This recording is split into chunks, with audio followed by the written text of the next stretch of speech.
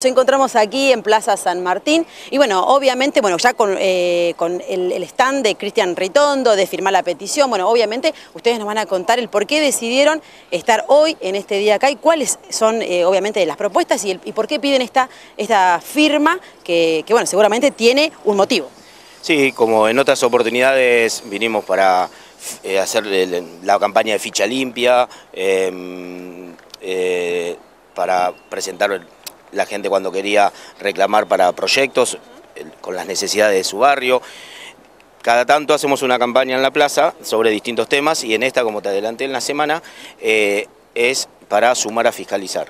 La, idea bueno, de Cristian y en estos dos meses mm, va a ser una campaña que digamos, la, la llamamos eh, terminemos con el populismo y sumate para eso, sumate a fiscalizar. Así que a partir de hoy, todos los sábados, de 11 a 1, vamos a estar acá en la plaza con el objetivo de sumar eh, gente para fiscalizar en estas elecciones de este año que consideramos que son... Eh, es un punto de partida, digamos, o, la última posibilidad que tenemos de realmente terminar con el populismo y, bueno, y empezar a levantar la Argentina. Eh, ¿Qué quedó? Porque la, la, campaña de ficha limpia ya había comenzado anteriormente. ¿Cuál fue el resultado de esa campaña? Eh, en cuanto en salto, no, bueno, no, no, tuvimos la repercusión que hubiésemos querido, o sea, eh, o sea, sí en cuanto a la gente. Nos llenamos de firmas, la gente se sumó, eh, se presentó el proyecto en el Consejo Deliberante y como siempre pasa cuando no quieren tratar un tema, que los pasaron a las áreas para que las áreas tengan que decidir y nunca volvió de nuevo al Consejo Liberante. Estamos cansados de reiterarlo y de pedirlo y el expediente nunca volvió, está cajoneado en alguna área.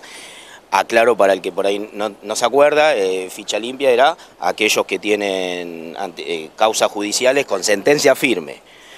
No es el caso de Cristina, si bien tiene una sentencia de primera instancia, tiene que tener una sentencia firme, o sea, segunda instancia por lo menos dos instancias donde sea condenada una persona, pero cuando ya tiene sentencia firme no puede ser candidato ni ocupar cargos públicos. Esa es la idea. Eh, no se trata de proscribir a nadie sin sentencia. O sea, una vez que tiene una sentencia, que la justicia lo condenó en dos instancias, recién ahí es donde pretendemos que no sea parte de ningún cargo público, tanto a nivel municipal, provincial y nacional, y ninguna lista.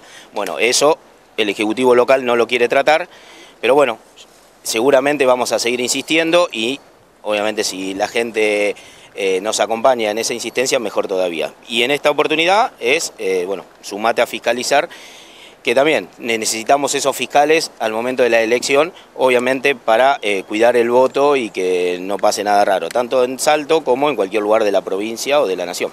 Perfecto. Bueno, me imagino también como, como joven, digo, ¿no? Representante también de un sector, de una juventud. Eh, bueno, ¿qué, ¿qué, te pasa con esto? Porque vemos este, este folletito, que si lo, lo querés dar vuelta, dice, eh, terminemos con el populismo. ¿Crees que eso eh, se, se, se, está llevando a cabo hasta hoy actualmente? ¿Existe el populismo? ¿Y crees que si existe, es posible erradicarlo? Sí, sin dudas, pero bueno, para esto justamente necesitamos que para ser mejores ciudadanos, ciudadanos activos, para cuidar la democracia, necesitamos cuidar el voto, por eso los invitamos en esta ocasión para fiscalizar. La mejor forma de explicar el, populismo es, digamos, cuando eh, nosotros siempre decimos que el populismo para poder existir, eh, lo que hace siempre crea enemigos.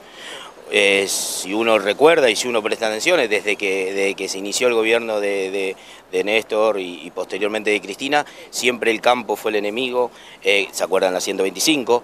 Eh, después fue, mm, eh, digamos, bueno, la oposición, fue Macri, siempre están volviendo a que, pero Macri, pero Macri, hasta Kicillof le echaba la culpa a la gobernadora cuando decía la gobernadora y ya no era más gobernadora, o sea, siempre algo. Hoy es la Corte Suprema, entonces hay una una embestida con la Corte. Siempre el populismo tiene que crear un enemigo para subsistir, para que la gente crea que ese es, el problema.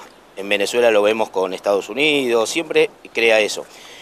Y en, y en la práctica eh, el populismo es que, digamos, eh, con la finalidad de que, cada acción, como siempre dicen, es un derecho, entonces eh, donde hay una, una necesidad, hay un derecho y eso no puede ser porque la plata siempre es la misma y sale de los impuestos de la gente. Entonces, el populismo es sacarle, exprimir a los que trabajan, a los que pagan los impuestos y a los que realmente producen, invierten, para eh, crear, digamos, pobreza para eh, conseguir eh, teniéndolos para el voto, reteniéndolos para el voto. Bueno, eso no puede ser más. La gente que crea riqueza, la gente que trabaja, la gente que se rompe el lomo todos los días a la mañana trabajando, tiene que poder crecer, tiene que seguir invirtiendo y eso tiene que ser apoyado por el Estado, con menos impuestos, eh, acuérdense que en la época de Macri los ingresos brutos habían bajado hasta casi desaparecer, ganancias habían bajado, cuando vuelve el quinerismo, otra vez los ingresos brutos volvimos a pagar en la provincia, ganancias volvimos a subir. O sea, la idea es bajar los impuestos para que se pueda producir más. Y esa es la diferencia existencial que tenemos en cuanto a la economía con el populismo. ¿Creen que hay una oportunidad para el PRO, para este sector en este año? ¿En qué lugar piensan que están hoy? Bueno, hoy nosotros estamos situados en, una postura de oposición eh, dura, ¿no es cierto? Pero dura con fundamentos, dura con, todo lo que es eh, un plan estratégico de gobierno, que incluye desde seguridad, eh, conceptos de seguridad vial, un plan de seguridad vial, un plan de seguridad de edilicia. Nosotros cuando vemos acá diferentes hechos que han sucedido en, Salto, en la inseguridad, siempre pasa lo mismo cambia el secretario de gobierno, el secretario de seguridad, las políticas siguen siendo las mismas y lo que, nosotros notamos como oposición es que no hay una decisión política para trabajar en serio en esas, en esas áreas. Entonces como oposición nos planteamos a futuro y asumiéndonos como, gobierno, si, Dios quiere, eh, implementar políticas de seguridad, eh, políticas de, de, trabajo contra el narcotráfico, contra el narcomenudeo, eh, que es un fenómeno que está no solamente en Rosario, sino que está en toda la provincia de Buenos Aires. Eh, nos planteamos, como dijo Daniel, trabajar en concordancia con la línea nacional y provincial en lo que es baja de impuestos y eh, reducir la presión fiscal para incentivar a todos los emprendedores del Partido de Salto a invertir y a desarrollar emprendimientos económicos sustentables para nuestra ciudad. Muy bien. Van a estar entonces de ahora en adelante, todos los sábados, aquí en Plaza San Martín, ¿a partir de qué hora?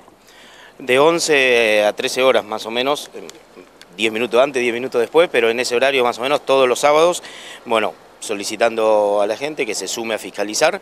Eh, cuando viene tenemos dos opciones, o con el teléfono, eh, hace em, eh, con un QR y esto directamente después llena los datos, esa persona llena los datos y eso va digamos, a una central donde después se comunican con la persona y le, dicen si quiere recibir eh, información sí o no, y la persona, y, y, si no, queda sentado solo como fiscal. Y si no tenemos esa posibilidad, simplemente se anota en una planilla donde después nosotros, vía los datos que pone la persona, estamos en comunicación para, bueno, para cuando se necesite eh, de su servicio para la fiscalización.